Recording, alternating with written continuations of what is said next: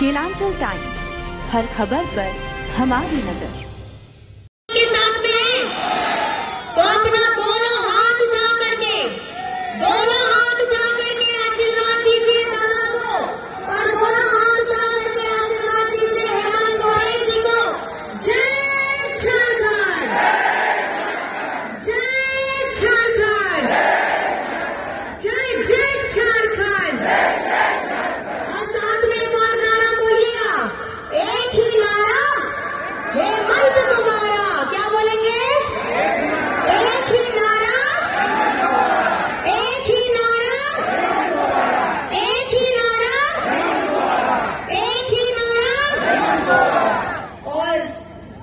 सभी को यहाँ उपस्थित हुए और हमारी बातों को